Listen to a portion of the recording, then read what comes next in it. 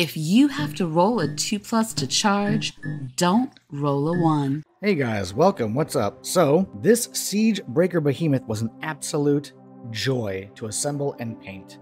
It took me about an hour to assemble it and just under two hours to fully paint it. Now, I haven't done the base of it yet because I have not decided what the base of my Spire's army is going to look like. Now, before I talk about this, remember I do have a Patreon that you can join, which I will start releasing videos exclusive for Patreon.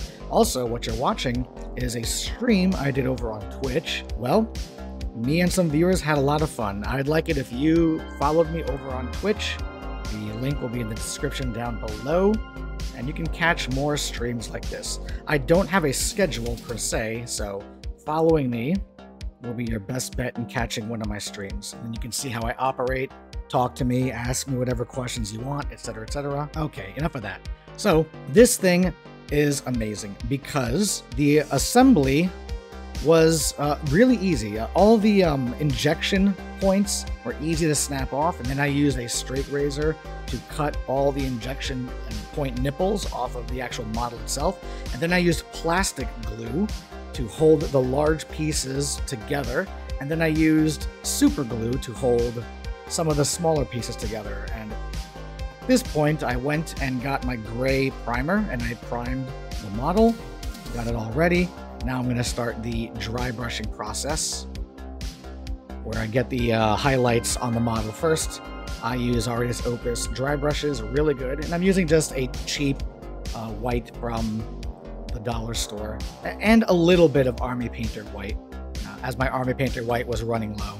I use a large brush to get the large areas, and I use a small brush to get into the small areas.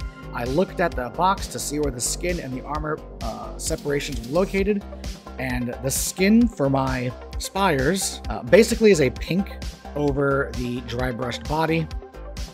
And I was trying to catch every piece of skin I could. I was being careful not to get the pink outside of the border of wherever the skin was because I didn't want to really go back and uh, redo the paint. Uh, I'm a speed painter, so everything I do concentrates around uh, speed. I'm sorry, it's centered around speed, absolutely. So if something takes longer than normal for me, well, then I don't do it. Uh, the body uh, is, on this model, luckily, is pretty much all armor. So I went ahead and used a certain kind of uh, light brownish color on the armor all around it to make sure I get every strip.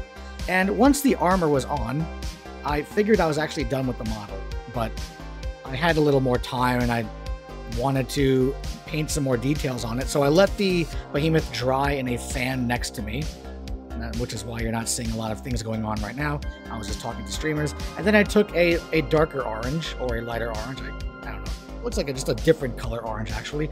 And then I started painting every other piece of armored segment on the behemoth. I'm making sure to keep the orange strictly in places so it would have a nice contrast against the rest of the body. I didn't want to get the orange everywhere, and this was a little quick process.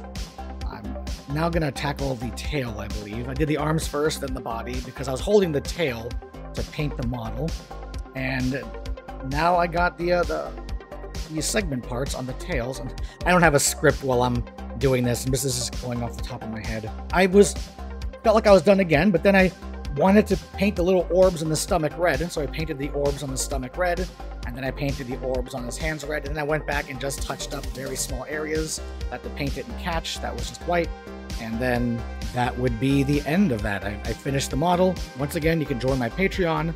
Uh, I'll let people on Patreon have a uh, notice before I go on live stream, and then you can catch me on live stream and ask me questions. And you can, if you need someone to motivate you to paint along with, well, I can be your painting buddy. We can chat, hang out, whatever you want, and paint things together, right? Anyway, know, thank you guys for watching this video, and have a wonderful rest of your day. And don't forget, when you need a 2 plus to charge, speed paint. Peace out.